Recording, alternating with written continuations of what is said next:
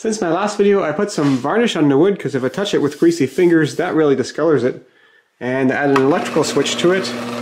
And I've been using it with this chuck here, which for a drill press actually runs pretty true.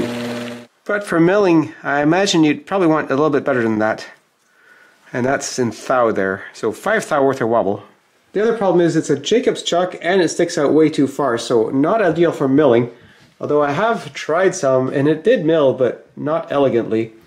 But my collet adapter and collets have arrived, so now I can play with that.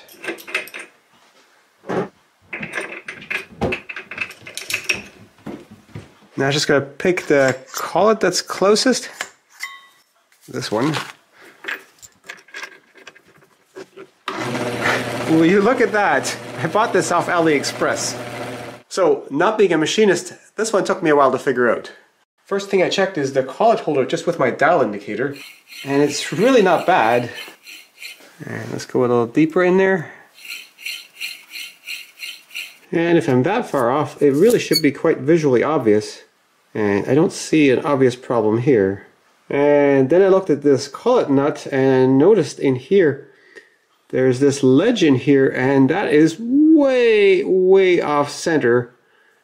And I thought, how could I get this wrong? Until I eventually realized, you don't put these straight in. You have to put these in so they hook onto one side of this here. It's a little tricky to get in. And then this actually sticks in there. And when you pull the nut off, that pulls the collet out too. So I've just been using it all wrong. So I still have some run out, uh, but much better than before and certainly not something that I can see. Now with a different shaft in there, maybe a tiny bit better. But then if I probe at the end of this shaft, not great. So I guess the key is to use shorter tools. But looking at overall vertical alignment, this is actually not bad, although I guess it depends on which way this is turned. Now probing on the side, this seems to be much better. So realistically, I should probably add a bit of shim right here to bring that out this way a little bit, but for my needs, this is more than accurate enough. To run this at lower speeds, I want to make a bigger pulley to go up here. And drill press has been annoying to me that way because when I want to drill a hole in the middle of a pulley, it often just doesn't fit. On my bigger drill press, I've got enough room for this, but then if I want to make an even bigger pulley, I still have the same problem. Which is why I made this machine to have lots of throat clearance, so I can drill this no problem, or I can go even quite a bit deeper.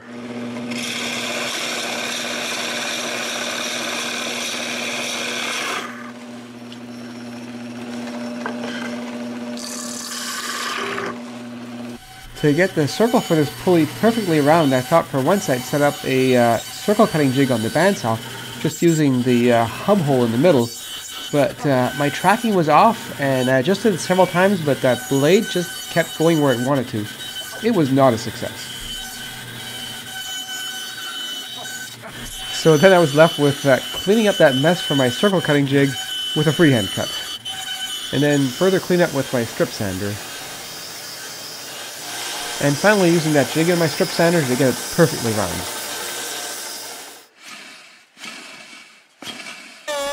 And then onto my router table with the tilting router lift in there, and I've got the uh, slot cutting bit tilted 20 degrees and I'm cutting from both sides, and that makes for a nice V right in the middle of the pulley. I still need to cut a keyway for this, and last time I just did this with a jigsaw, but here I'm actually kind of drilling it out with a router bit inching it over one little bit at a time because I can drill only partially having the drill in the wood, not like with a drill press. Keyway cut. Now it'd be nice to pair this big one with a really little one, but this one, I don't have the right set screw for it, but this screw works if I can just get that a bit deeper, but that means I have to cut a little bit off of the rim here. And I just happen to have something that looks vaguely like a milling machine to take care of that.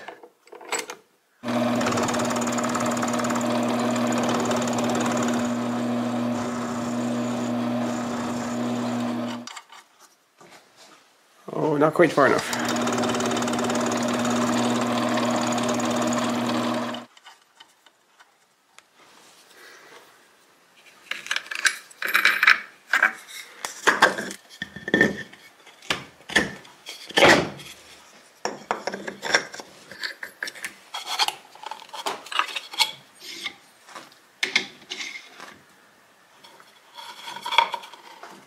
Ah, too short.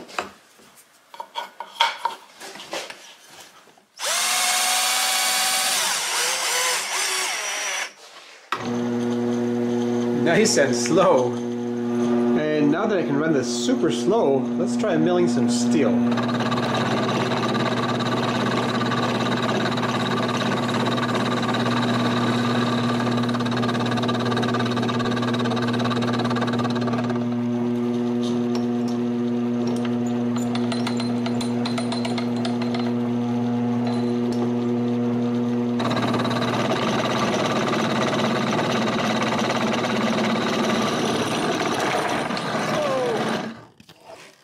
Haven't got any sort of depth control yet, so I just stuck a block of wood in here, and with all the vibrations, that just fell out. But it didn't do too bad where it just plunged down. Maybe I should try to do a cleanup of this face.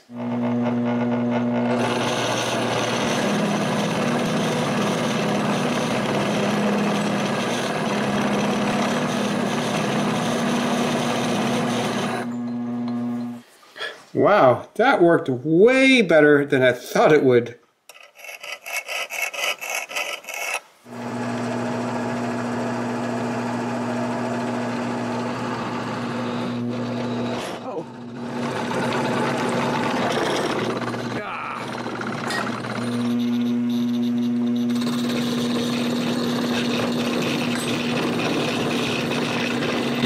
Oh. Ah, my vise is not attached well enough. Vise keeps sliding.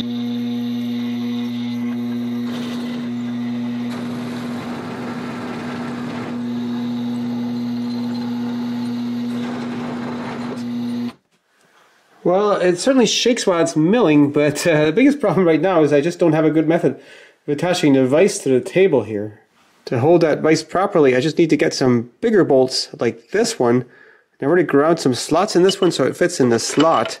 Except I need those bolts to be a lot shorter. And then just trying to drill some steel with a metal bit. This is about a 9mm, almost 3 8 of an inch bit. And it is drilling in the metal, but much slower than I'd like it to be. And the problem here is not lack of power, but I just don't have enough downforce compared to a real drill press. The thing with these metal bits is the metal doesn't really cut very well, so I decided to drill a smaller hole first and then follow it up with a bigger hole just to see how that works. Oh yeah, that's some better sized chips now. In terms of pushing down, I can easily press 110 kilograms or 240 pounds with my drill press, whereas with my homemade machine, pressing even half of that much is a bit iffy, so on that front, the drill press definitely wins. I think I can say that this thing cuts steel about as well as my mini lathe will, in that it will cut steel, but vibrates a lot. So does my milling machine. But compared to a drill press, I think it's quite good. So if I try to wiggle the bit here, you can see I got about 0.1 millimeter deflection. This is a metric dial indicator. And on my drill press, I do the same thing, and it just has play in it. And as I was working on it, at some point I totaled up how much I'd spent on all the parts, and I was getting close to the cost of a mini mill, not counting shipping or taxes, and I was thinking, okay, I don't actually need a mini mill, so why am I building this thing? Well, I just wanted to see if I could do it, and I think it'll still be useful, but mostly it's all about trying to build it.